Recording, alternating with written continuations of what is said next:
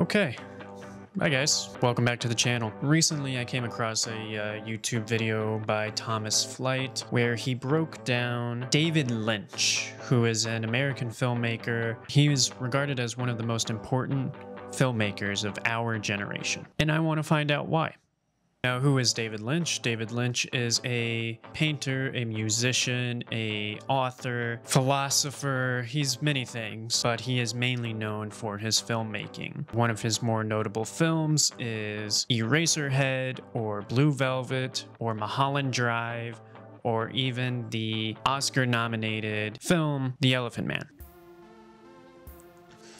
Now, you may be wondering, I've never heard of this person. Maybe you have heard of this person and you're trying to understand why I'm making this video. But he is considered as quote unquote the Renaissance man of our time. He is also considered as the first popular surrealist. Eraserhead, which is his first feature film, and it is also Stanley Kubrick's all-time favorite film. Stanley Kubrick. Now, after watching Thomas Flight's breakdown of David Lynch, it prompted me to want to look further into this artist as I had already seen a film from him. I recognized the name instantly because it was a film that I have officially deemed as the worst movie I had ever seen, even more worse than The Room. However, that was unintentional. David Lynch intentionally made a bad movie, and that seems to be his style. I want to understand why he's so popular in the film and arts industries. So, after not really being impressed by a short film that he most recently made, I thought it would be good to try and watch three other films that he's made, and just to give a little bit more backstory into how regarded this filmmaker is. George Lucas once came to him and asked if he could direct Return of the Jedi. George Lucas wanted David Lynch to direct Return of the Jedi. David Lynch has become more popular. He has created this style called Lynchian filmmaking. Some of those films that you may recognize Donnie Darko, Being John Malkovich, Black Swan, The Shining, Barton Fink, The Lobster. I definitely agree that Yorgos Lanthimos maybe had found some inspiration through David Lynch and his filmmaking style. But again, all of these films that I've just named all do have somewhat of a cohesive storyline. And what I know of of David Lynch is that there is no story. So I'm interested to see what these three films are and whether or not they live up to the hype. Okay, so I'm gonna watch Eraserhead, which is David Lynch's very first feature film. I wanna see what this guy was like from the beginning. Let's see what happens.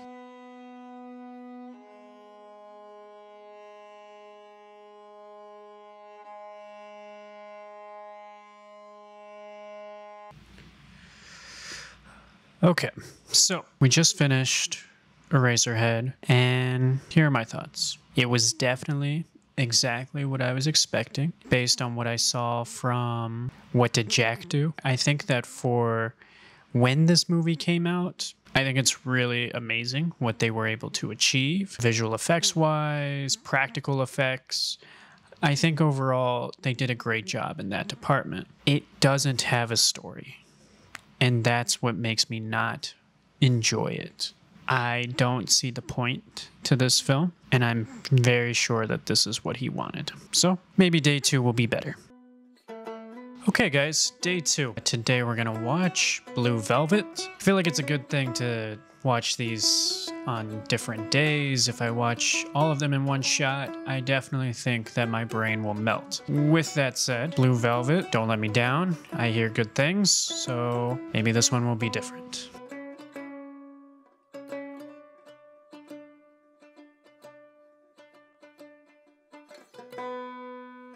Okay, so I know it's the next day, but I want to give my thoughts on Blue Velvet. It was actually pretty decent. I'm not going to lie.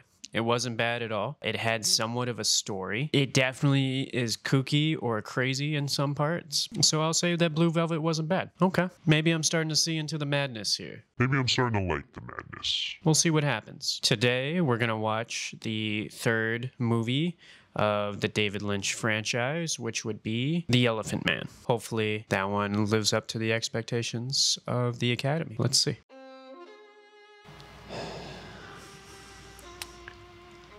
So I just watched Elephant Man, which is possibly one of the better movies I've seen, Ever. which is a complete shock to me as I was not expecting that. When I first sought to see David Lynch's films, I expected them all to be outlandish and very adventurous in terms of trying to not tell a story. This movie did exactly the opposite of everything we had seen so far from David Lynch. And for that, I can respect him. He basically shows in this film that he can do both. He is proving a point of art can go in any direction as long as the artist decides to steer it. So I highly recommend that if you haven't seen this film, watch it. It's a very unique film and a very amazing story. After watching this, I do want to try and make my own short film that takes in a lot of David Lynch's style. I want to try and make a two minute Lynchian film. So enjoy.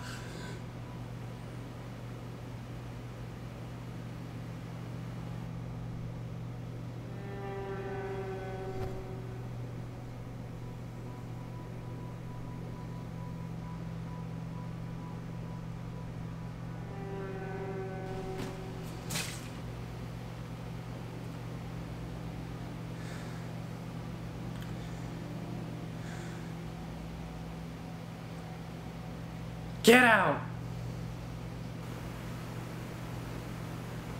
Leave. Just leave. Go.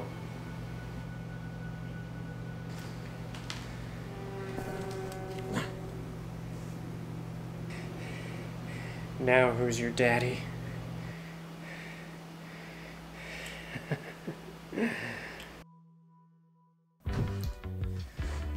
Okay, so yeah, I would say that after this week, uh, watching and studying David Lynch's films, I understand him as a filmmaker. I know what he's trying to go for, and I can respect. I may not like all of his work, but I do believe that there is a highly capable filmmaker in there that chooses to make the art that he wants to make. And again, for that, I can respect. After taking a crack at it myself, just to try and get in the mind of him, I definitely will say that uh, I'm not sure that his type of films are the type of films that I would make, but we're all different. And I think that that's the beauty of this industry, of this art form. That's the one thing that could probably be taken away from this whole experience. If you guys like this video, hit that thumbs up so that way YouTube can push it out to others. And if you are interested to see how I take on other filmmakers' uh, work and want to see me try and recreate their style through my own style, let me know. And I'll keep doing this because I actually had a decent amount of fun doing this. It was it was cool. That's it for now, guys. I will catch you in the next one. Peace.